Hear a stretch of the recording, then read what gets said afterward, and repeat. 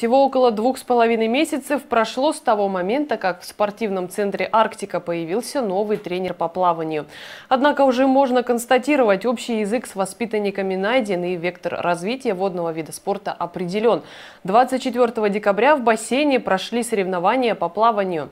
На старт вышли более 80 спортсменов. Каковы итоги года и какие планы на новое полугодие, узнаете сюжета Татьяны Журавлевой. Такого наплыва спортсменов и гостей бассейн «Соцарктика» еще не видел. Однако ж место нашлось каждому. Организаторы постарались создать все условия для удобного времяпрепровождения. Более 30 заплывов плюс эстафета. Программа чемпионата Ярселе обширна. Шанс проявить себя есть у каждого воспитанника. Открывают программу участники личного первенства города Салихард, который состоялся в начале декабря. Александр Шилопутин, Эвелина Саратетта, Виктория Яшкина, Арина Евдокимова, Александра Гордеева. Это те пловцы, на которых сегодня равняются их товарищи по спортивной группе и малыши.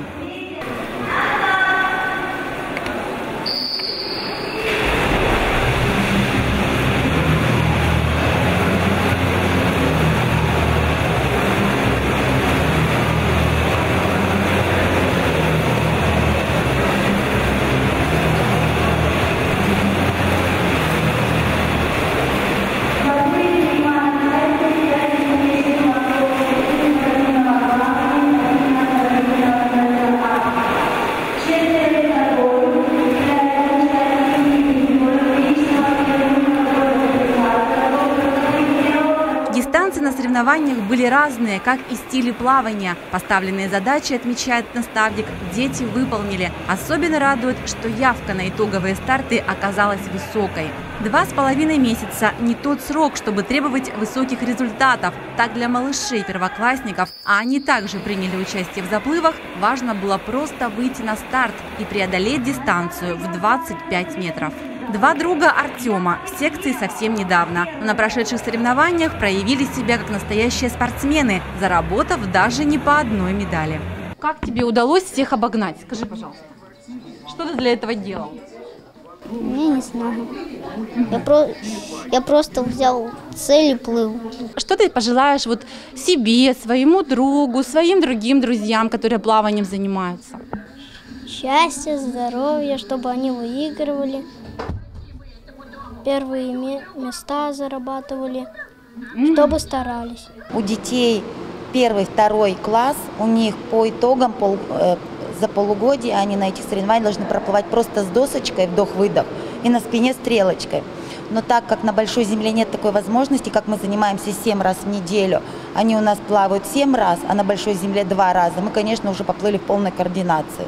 И это довольно-таки быстро, я сама удивляюсь. Просто оглядываясь в Санкт-Петербурге, у нас были соревнования, не плыли с досочками еще.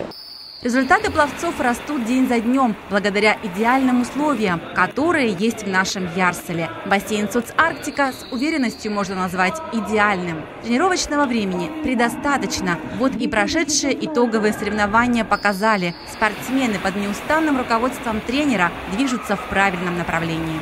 Да, я очень довольна. Я довольна тем, что я почему-то думала, что многие в последний момент не придут.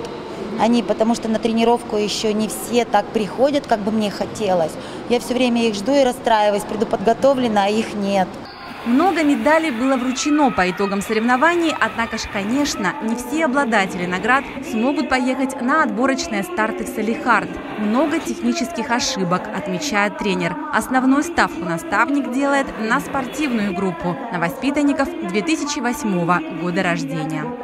На которых я рассчитывала, те меня и порадовали. порадовали да. Ну, я на них уже рассчитывала, потому что постоянные ну, будни, тренировки я уже вижу, что кто поплывет, кому-то просто нужно было психологическое, многие боялись этих соревнований. Мы уже уверенно вышли на ту позицию, которую будем составлять конкуренцию на, на округе. Что ж, ждем отборочных соревнований в городе Салихард. Каким будет состав команды от Ярселе, пока не может сказать даже тренер. Процесс отбора на окружные старты продолжается, и это значит, что у всех сегодняшних медалистов еще есть шанс попасть в состав.